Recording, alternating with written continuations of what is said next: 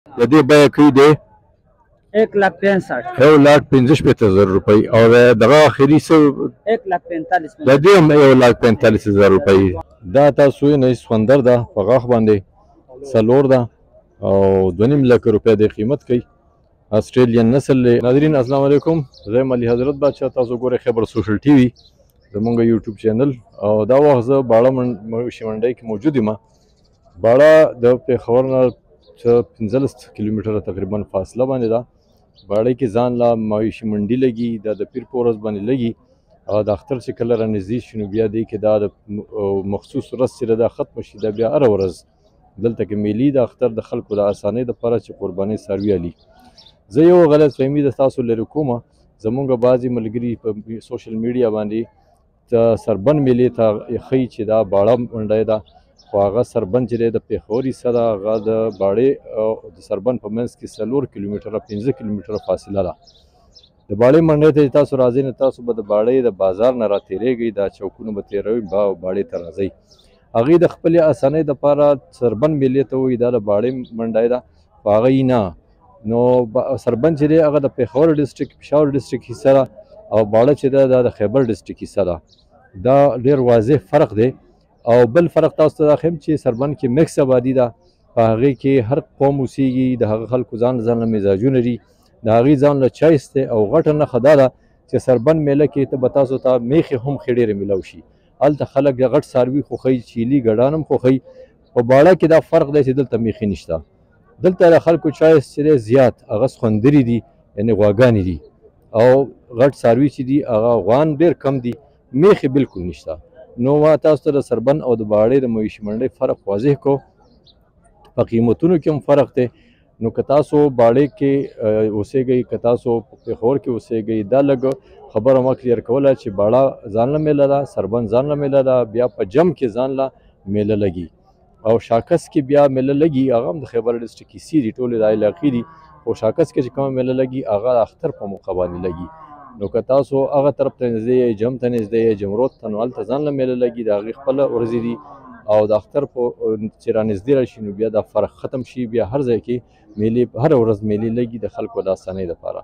نو دا وخت کې مونږ باړه منډه کې موجود یو تاسو ته مونږ د غواګانو او د غوانو او د سخندرو ټولو ریټونه به ښه وي نو راځئ زموږ سره اوسئ دا سخندر تاسو ته ښکاري دا غوا یو لاک پنځه شپېته زره روپۍ وایي او اخري چې دي یو لاک پنتالیس هزار روپۍ یو لاک پنسټ هزار روپۍ دی وایي او ایک لاک پنتالیس هزار روپۍ فاینل دا په غاښ باندې دوره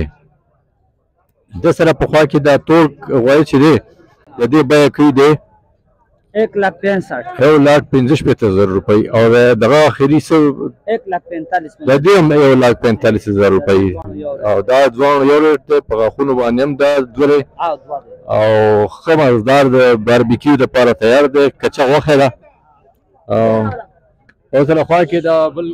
تاسو وینئ دا چې کم دی په لاس کم دوه لکه لاس کم دوه لکه روپۍ واخ باندې دوه لکه سایز غټ دي تاسو به وینئ چې دا به څلور یا به شپږ وي خو دا په غاښ باندې دوه او ښه کچه دي د دې سره په خوا کې نور راته وښیه د دغه په خوا کې دا تور چې دی دا هم په غاښ باندې دوه دی او بیه یې کوي بیه کو دوه لکه لس خو خرڅ دوه- یې په یو لک پنځه دی. ښه دوه لکه او لس زره روپۍ بیه کوي او ایک لاک پن- پچیس هزار روپۍ دی فاینل دوه لکه او لس زره روپۍ او د-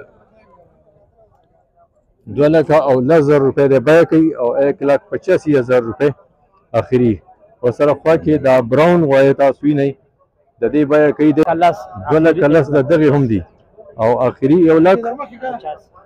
1 لک 85 هزار روپے د دې دوه یو ریټ دی اوس موږ دې سره په خوا کې بل غوای تاسو ته خو او د دې څه بیا کې د دې بیا کوم 2 لک 10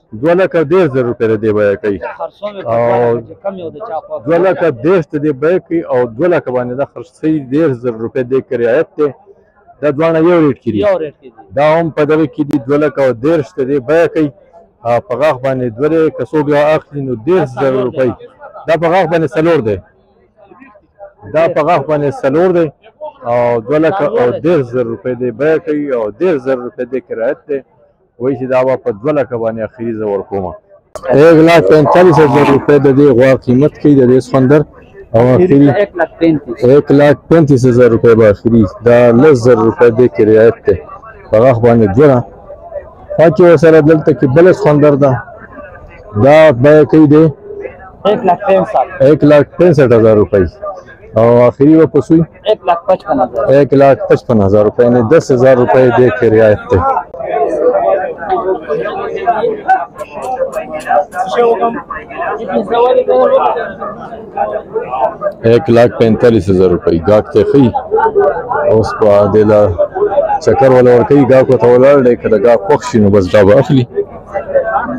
لره نه ده خان لره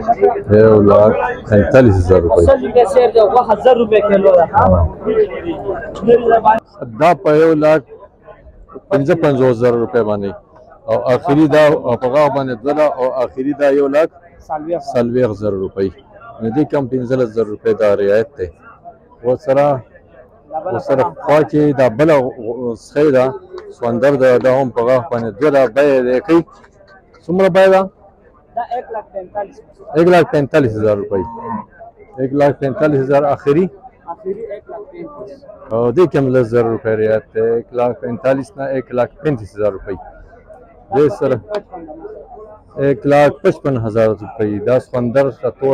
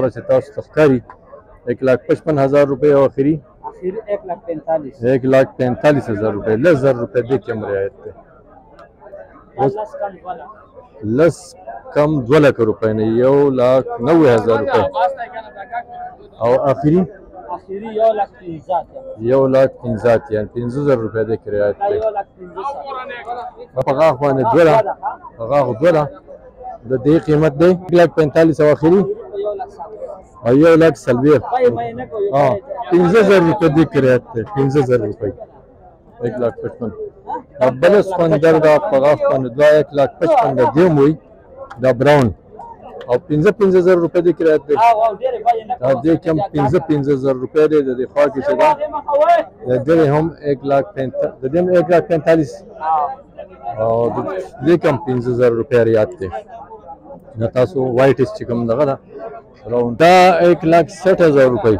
د دې سپندر یو لاک شپېته زر روپۍ د قیمت کوي او رعایت دی زیات نه کوي د دې هم دغه پنځه زر روپۍ لس زر روپۍ دی په دې کې رعایت کوي تاسو وینئ سپندر دی دا یو لاک لس زر روپۍ د قیمت کوي او چې ګا کې نو لس زر روپۍ دی کې رعایت دی په غاښ باندې دوه دی تاسو کتای شئ ښه ډک دی ایک لاک دس هزار روپۍ قیمت کوي او اخري ایک لاک دس وي یو یو لاک باندې او سره خوا کې سخندر ده او اخري دا خوا کې سخندر ده او سره تاسو وینئ په غاښ باندې دم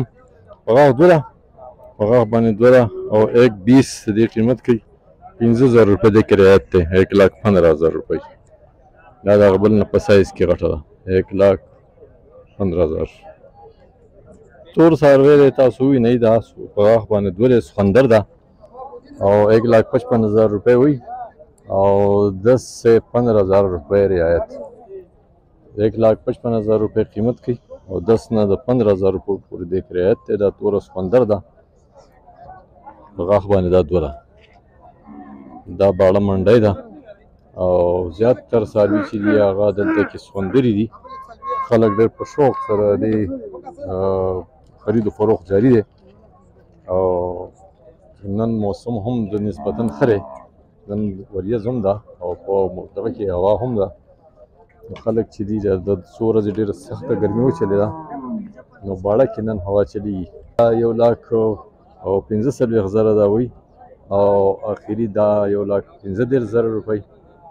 او یو لاک پنځه دېرش زره دغه بل چې تاسو ته ښکاري تور چې تاسو ته ښکاري یو لاک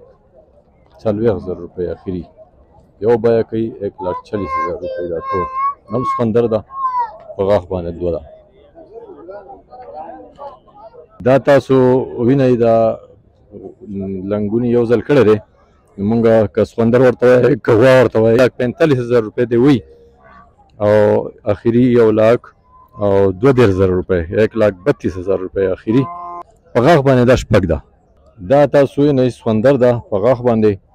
څلور ده او دوه نیم لکه روپیا دی قیمت کوي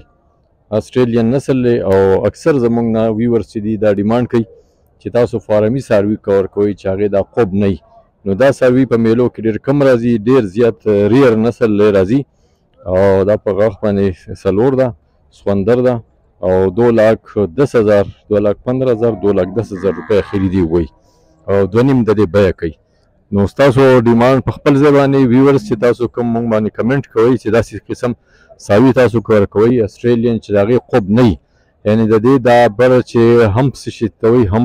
چې دا نه نو دا ساروي تاسو چاپیره موږ تاسو ته خوې شو ډیر کم دي چې کم موږ ته په نظر راځي هغه به موږ لازمي تاسو ته کور کوو تاسو ته به خو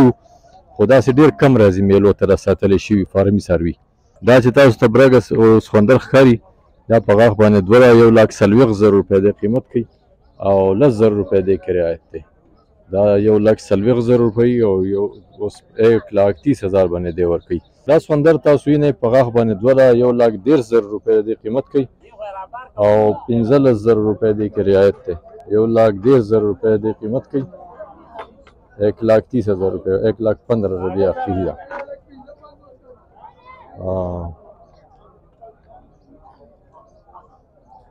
Thank you. اوس دې په خوا کې چې کوم دویمه سمندر ده دا هم په غاښ باندې دوه ده دا سمندر ده هم په غاښ باندې دوه ده یو لاک ډېر زر روپۍ ده دیم قیمت ښي